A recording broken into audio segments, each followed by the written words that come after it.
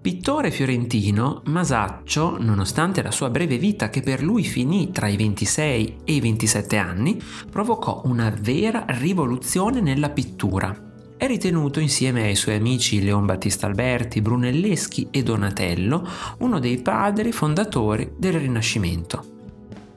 Il suo vero nome era Tommaso di Ser Giovanni di Mone Cassai e divenne Masaccio perché, secondo Vasari, era così profondamente preso dall'arte da non dedicare attenzione alle vicende del mondo e tantomeno al modo di vestire.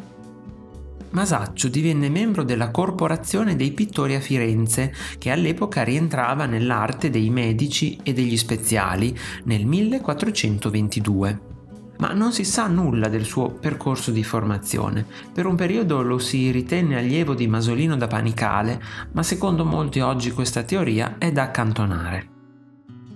Il primo lavoro a lui attribuito è il Tritico di San Giovenale, che rivela già uno stile tutto personale. Masaccio infatti fu il primo a sfruttare luce e colore per rendere i propri lavori più imponenti si allontanò dai caratteri dello stile gotico per cercare un approccio più naturalistico.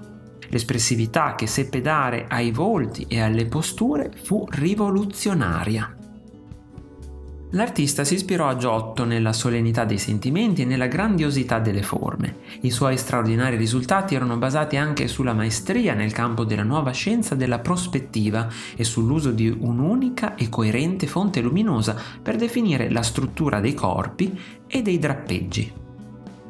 Masaccio lasciò ai posteri tre grandi opere nelle quali aveva enunciato i suoi principi innovativi un politico per la chiesa del Carmelo a Pisa, oggi disperso in vari musei, un ciclo di affreschi realizzati in collaborazione con Masolino presso la Cappella Brancacci in Santa Maria del Carmine a Firenze, un affresco della Trinità in Santa Maria Novella, sempre a Firenze. L'affresco della Trinità segna il primo uso sistematico della prospettiva lineare, Coloro che lo videro al tempo pensarono che Masaccio avesse scavato una volta nel muro, tanto il dipinto creava l'illusione della tridimensionalità.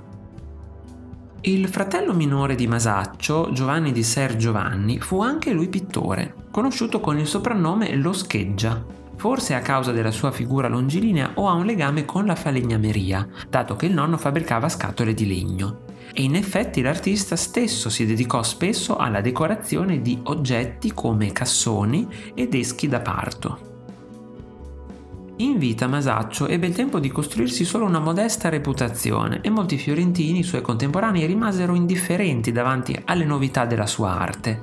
Ma è altrettanto vero che egli fu di grande ispirazione per i maestri della generazione successiva, tra cui Beato Angelico, Piero della Francesca e Filippo Lippi. L'artista si trasferì a Roma nel 1428 lasciando incompiuti alcuni lavori fiorentini, ma la morte lo colse all'improvviso. Era la fine del 1428.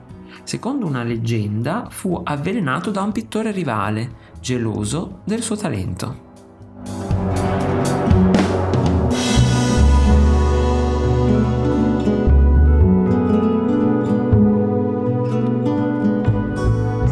Video ti è piaciuto metti un bel like, lasciami un commento, condividilo con i tuoi amici. Ricordati inoltre di iscriverti al canale e di cliccare sulla campanella per non perderti i nuovi video. Ciao!